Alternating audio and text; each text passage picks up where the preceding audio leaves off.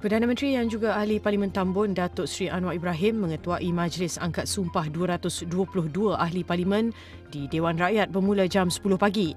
Ia diikuti dua timbalan Perdana Menteri iaitu ahli Parlimen Bagan Datuk Datuk Seri Ahmad Zahid Hamidi dan ahli Parlimen Petrajaya Datuk Seri Fadilah Yusof.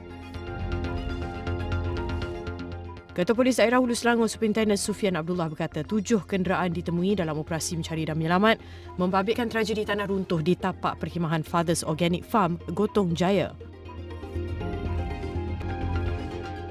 94 pencawang elektrik di Kelantan ditutup sementara waktu mulai semalam berikutan hujan lebat dan banjir yang semakin teruk. Ia membabitkan pencawang empat daerah iaitu Pasir Mas, Pasir Putih, Tanah Merah dan Kota Baru. Ikuti liputan dan analisis pantau kerajaan baru setiap hari di saluran 501 dan astroawani.com.